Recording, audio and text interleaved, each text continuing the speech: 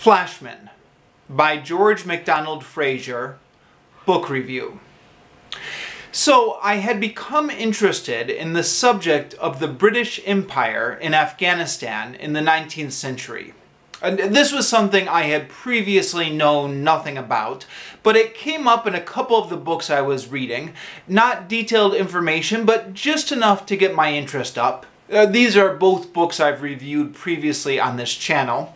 Uh, one is a biography of Captain Sir Richard Francis Burton by Edward Rice, uh, which talks about how Richard Francis Burton was involved as kind of a spy in Afghanistan for the British Empire. Uh, the other is Kim by Rudyard Kipling, which is a fictional novel but based on the spy game and the the battle for influence in Afghanistan between the British Empire and the Russian Empire. Uh, and this got my interest in the subject up. It seemed like a fascinating historical episode in its own right. Um, but the fact that the U.S. Army is now in its own quagmire in Afghanistan seemed to have some contemporary relevance. So it was something I started looking up on Wikipedia, talking about with friends in bars. Uh, again, I wasn't an expert on it, but it, it was something that was interesting me at the time. I talked with a British friend about this one night at a bar, and he said, You should really read the Flashman series. I had never heard about the Flashman series before, and I think this is maybe because the Flashman series is much more popular in Britain than it is in America. Or maybe it's just me. I don't know. Uh, I'd never heard of it before, but my friend explained the premise to me. He said, Flashman is a coward and a scoundrel, but somehow he always ends up getting the reputation of a hero. The books are written from the perspective of the 80, 80 year old Flashman who is trying to set the record straight on what had really happened. Plus, he added, these books are very well researched, so you learn a lot of history from them as well. Now, it's funny, sometimes you can go years without hearing about something, and then after somebody mentions it to you, you begin to catch references to it everywhere. I, I think that's called the noticing phenomenon or something like that. Anyways, after my friend had told me about it, I started to notice references coming up to this everywhere. Uh, Christopher Hitchens mentioned it at one point in some YouTube video I saw I was watching of his. Uh, Terry Pratchett and John Updike are apparently fans of this series. I, I caught some sort of passing reference that they made to it. Uh, so, I decided I wanted to check these books out. It sounded very interesting. Uh, I have long been a fan of historical novels, and I know not everybody is.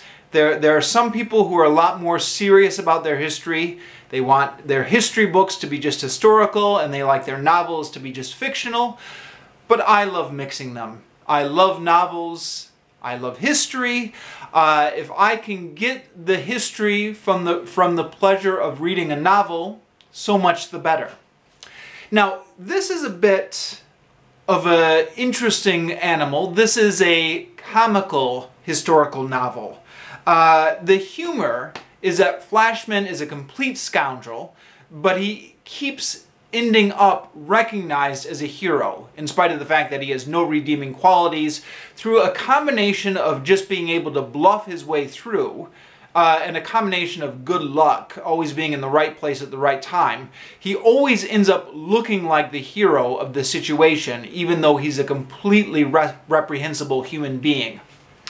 Now, this type of humor is not quite like a joke on every page type humor. Like you won't be laughing aloud on every page. But it is uh, kind of ironic humor as you read the book. I, I wasn't laughing out loud a lot, but there was always maybe a small smile on my face as I was reading this book. And th there are a couple places where actually I was laughing out loud.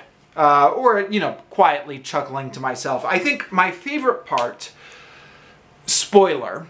Uh, my favorite part is when uh, the description of Flashman who is forced to defend a British fort against his will. Uh, and he's whining and crying as he's forced to defend this fort. And the image of that just struck me as very humorous. I, th- there are a couple other places uh, in the book as well where I kind of let out a little chuckle, but for, for the most part, it's not quite laugh out loud humor.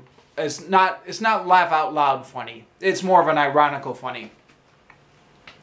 Now, the history of this period is quite cleverly woven in with the story.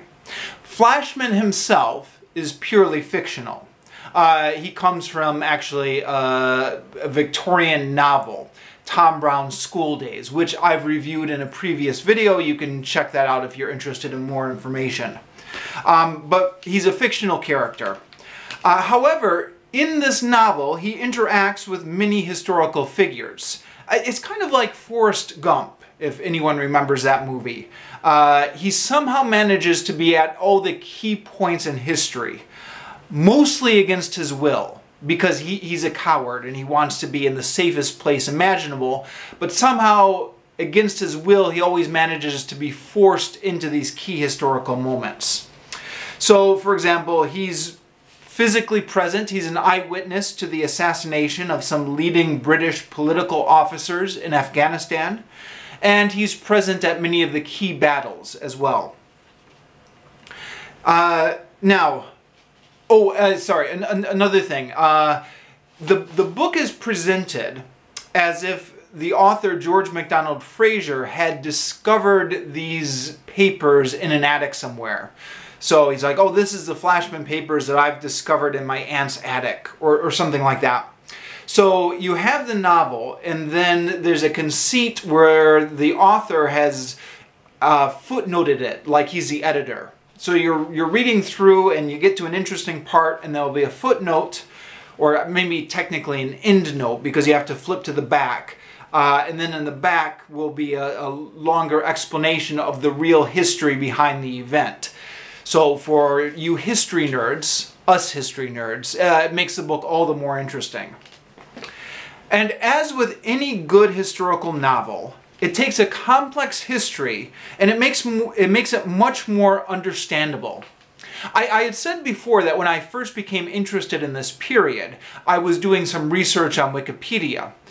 And Wikipedia is good for what it is, but when you're just reading this overview, you get very confused easily. There's all these strange names, all these tribes.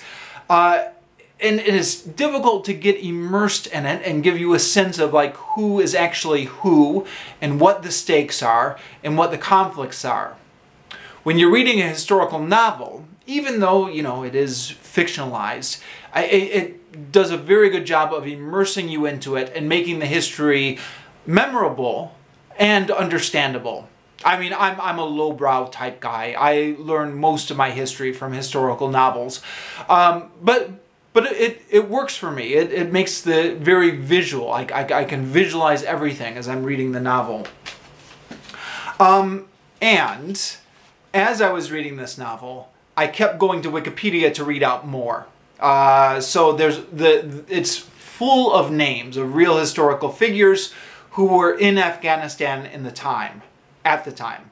And as you're reading it, you're like, oh, well, this guy sounds really interesting. I, I wonder what his backstory is. So you go to Wikipedia, you can look him up, and uh, you can get more information that way.